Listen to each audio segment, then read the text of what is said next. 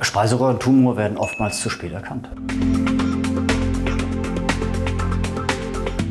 Die Entzündung der Speiseröhre selber kann ich als Patient ähm, nicht konkret erkennen, aber es gibt natürlich Symptome, die darauf hinweisen. Das ähm, ist das saure Aufstoßen, das, das Brennen letztendlich hinter dem Brustbein, ähm, also alles, was im Prinzip so unter den Refluxbeschwerden im Allgemeinen subsumiert wird.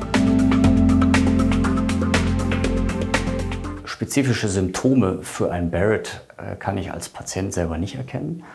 Die ähm, Beschwerden sind gleich zu den Refluxbeschwerden. Ähm, das Barrett ist letztendlich eine endoskopische Diagnose. Das ist die Umwandlung der Schleimhaut des unteren Speiseröhrenbereichs in Magenschleimhaut. Und ähm, das ist insofern wichtig, dass das ähm, regelmäßig überwacht wird, weil dadurch durchaus auch mal bösartige Tumorerkrankungen entstehen können.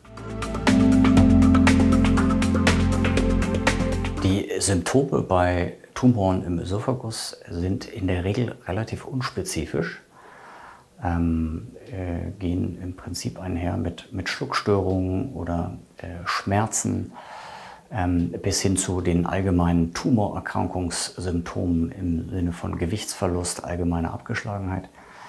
Ähm, letztendlich ist das oftmals das Problem, dass ähm, Tumorerkrankungen ja auch aufgrund dieser Unspezifität lange unentdeckt bleiben, beziehungsweise dann oftmals halt auch in einem etwas fortgeschrittenen Stadium auch diagnostiziert werden.